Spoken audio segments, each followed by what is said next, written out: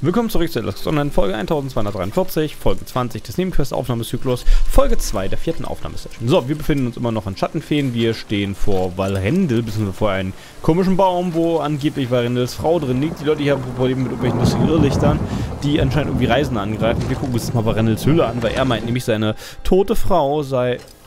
Ach du Scheiße. Sei hier drinne und ich sehe eine große Illusion. Ähm...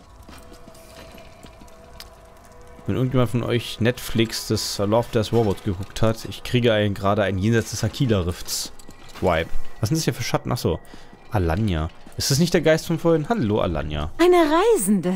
Ruht euch an unserem Kamin aus, solange ihr wollt. Soll ich euch etwas zu essen oder zu trinken bringen? Ich glaube nicht, dass sie das kann, oder?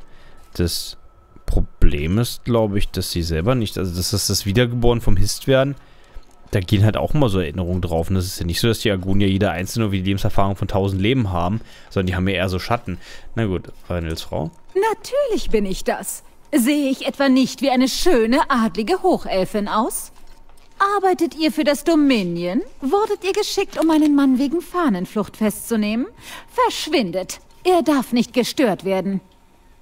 Äh, ich finde die Formulierung eine schöne, adlige Hochelfin irgendwie komisch, oder? So als hätte sich irgendjemand dazwischen gedrängelt und einfach nur die Rolle angenommen. Oder? Klingt so ein bisschen, finde ich. Also so minimalst, will ich mal so sagen. Tja, das ist nicht über anscheinend spricht nicht meiner Erwartung. Ist es so? Was? Dieser mich keine Pizza, die Monochromie fördern für Essen? Gibt es das eigentlich? Wahrscheinlich nicht, oder? Weil das, das, das, das, das wird. Also, ich kann tatsächlich von keiner praktischer Drogenerfahrung in der Richtung sprechen. Also, ich habe. Aber das ist, also, was mir die Leute so berichtet haben, die meinten, dass, wenn man so LSD in sich reinhaut, das ist nicht so, dass du halt wirklich. Dass die Farben halt irgendwie so auf einmal so mehr sind. Das ist, glaube ich, irgendwie eher so eine Pilzegeschichte, dass du mehr Farben siehst und so Hallus hast. Sondern LSD ist halt irgendwie so, dass da alles so ein bisschen wabert und atmet. Das war so die Beschreibung, die ich gekriegt habe. Aber monochrom hat doch keiner gesagt. Also egal, welcher Drogenbericht ich bis jetzt angehört habe, es hat keiner jemals gesagt, ja, die Welt wirkt dann total grau und einsam und langweilig und hast das Gefühl, du willst von der Brücke springen. Pro-Tipp, nie Pilze futtern? Ich mag Champignons. Ähm, ja, ich, ich, ich sehe hier doch auch eine Täuschung. Meine Erscheinung? Ihr verleumdet meine Schönheit? Mein Mann wird euch hinauswerfen. Und er wird es tun, weil er mich liebt. Er wird bei mir bleiben. Für immer. Ihr hingegen nicht. Oh. Aha. Das klingt in der Tat. Kann ich da wieder rein? Ihr könnt diesen Durchgang im Moment nicht benutzen. Ja, also ich würde sagen, da hat sich irgendein Irrlicht zwischen... Also, das ist halt wieder ein bisschen das Problem. Du kannst halt keine Leute wiederbeleben, die nicht da sind, ne? Also du kannst halt... Du kannst halt die Illusion zurückbringen. Und das ist halt so gerade so trauernde Angetra... Äh, so, so trauernde äh, Anverwandte, die, die wollen natürlich alles glauben, was wir kriegen können, aber das ist halt, das ändert ja nichts daran, dass es trotzdem nicht geht, ne? Tja, Tinshay Tail. Geht es euch gut? Überall um euch sehe ich Zeichen der Ranken des Geistes. Ihr wart im Lager des Altmeers. Was habt ihr gefunden? Tja, ja, seine Frau in Anführungsstrichen. Frau? Er kam ohne Frau. Wie konnte... Wie töricht von mir. Unsere Irrlichtmutter hat die Gestalt von Valrendils toter Frau angenommen. Sie ist stark. Viel stärker als der einfache Geist, für den ich sie hielt. Das ist gefährlich. Naja, die sich etwa von den Sterblichen, ich meine, die hat schon ewig gesagt, bei, bei so einem Hochelfen könnt ihr da echt ziemlich viel Zeug dran haben. Das ist, was macht so eine Irrlichtmutter halt sonst den ganzen Tag, ne? Sieht man eigentlich ohne Farben besser oder schlechter?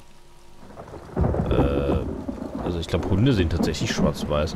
Ich meine, das ist, das Ding ist halt, Farben sind halt so ein Zusatzfeature von Sicht, ne?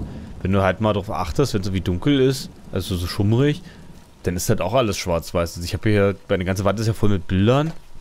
Und so, wenn es halt so ein bisschen dunkler ist, nicht dann abends kein Licht dann habe, dann scheint halt nur draußen das Straßenlicht rein, dann sind die ganzen Bilder auch alle schwarz-weiß. Also so Farben ist so ziemlich das Erste, was weggeht, wenn es dunkler wird. Das ist halt leichter, irgendwie so Helligkeitsunterschiede zu unterscheiden, also Intensitätsunterschiede zu unterscheiden, als tatsächlich Farben was ist halt, das ist halt, das ist, Ding ist das halt, an sich würde ich ja so sagen, das ist, du siehst monochrom natürlich schlechter. Ich meine, wenn du so versuchst, so Details auf Schwarz-Weiß-Bildern zu erkennen, ist teilweise halt auch schwer, ne? Was den Golden Retardo kannst du leider nicht fragen. Du musst die richtigen Fragen stellen. Ne, das ist auf jeden Fall, das ist, das, also Farb, das ist Farbsicht ist ja schon ein Vorteil, ne? Das ist halt Details, äh, Details, weißt du, weißt du doch, das, äh, das ist Farbsicht ist schon so ein evolutionäres Feature. Da sind Menschen noch ziemlich gut drin. Das wir echt weit voraus. Na gut, ähm, ja, wie kann ich da was aufhalten? Den Legenden zufolge kann man Irrlichtmütter nicht vernichten. Genauso wenig, wie man je den Mond oder die Sterne vernichten könnte. Nein, ihre Essenz muss eingefangen werden, denn sonst wird sie sich wieder aus den Sümpfen erheben. Ihr neuer Liebhaber liegt ihr sehr am Herzen. Das können wir ausnutzen. Der vor allem die Zufall hierher gekommen müssen, daran die glaubt hat, dass das sofort funktioniert. Das ist natürlich auch beeindruckend. Na Judy, aber das, das Ding ist, die Irrlichtmutter kann man nicht besiegen. Ich, ich, bin mir ziemlich sicher, dass das geht. Wir können ja schließlich... Also, so wenig wie man die Monde und die Sterne vernichten könnte. Nicht mit der Einstellung, meine Freunde! Also Monde vernichten ist wesentlich einfacher als Sterne, aber sowohl das eine als das andere geht. Ach, hallo Sandra, grüße dich. Na gut, hast du einen Plan? Ich habe immer einen Plan. So. Wir müssen sie in etwas Uraltem und Mächtigem einsperren. Seht ihr die Xanmere in der Ferne? Jede von ihnen birgt Bruchstücke, die ich brauche, um daraus ein Gefängnis zu bauen. Ich werde die Ritualstätte vorbereiten. Sammelt die Teile und trefft mich dort, wo die unlängst Verstorbenen begraben werden. Die Mission ist tatsächlich übrigens interessant. Glück gehabt. Mal wieder 20 Minuten mit, mit, äh, mit einem sinnvollen Nebenauftrag erfüllt, oder beziehungsweise 40 Minuten. Das hätte ja auch durchaus anders laufen können. Ich hatte den Tag für die äh, Nicht-YouTube-ISO-Gucker, hatte ich einen Auftrag, der war, war wortwörtlich, äh, hier schipp mal ein bisschen unser Heu von A nach B und sammle danach die Irrlichter raus, die da, äh, raus, die da rauskommen und danach kannst du die hier an meinen Väter verkaufen. Der möchte damit angeln. Das war so lächerlich als Quest. Das hat 10 Minuten gedauert. Äh, was sind das hier für Bandkreise? Äh.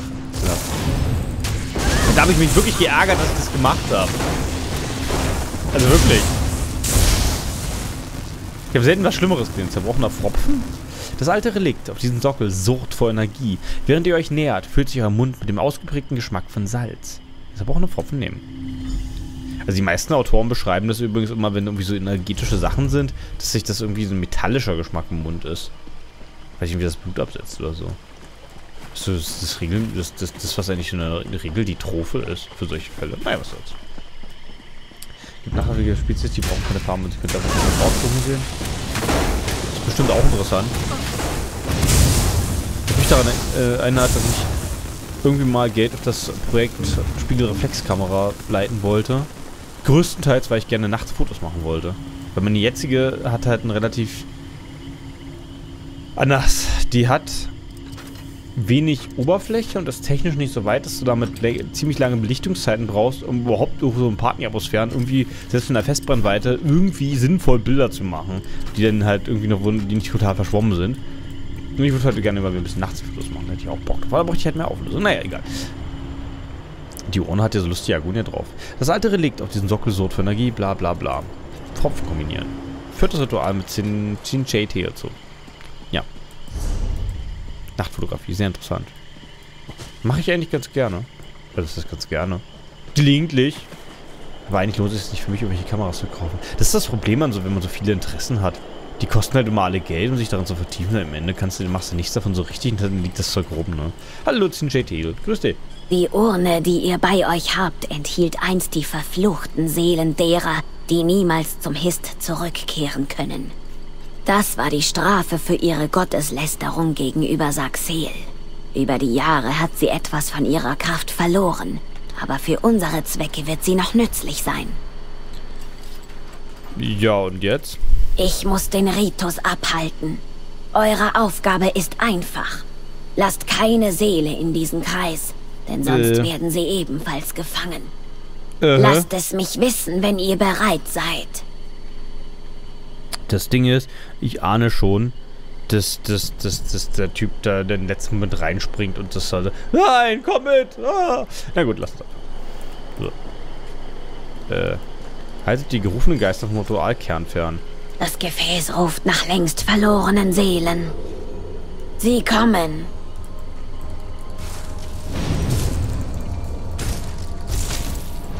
Äh.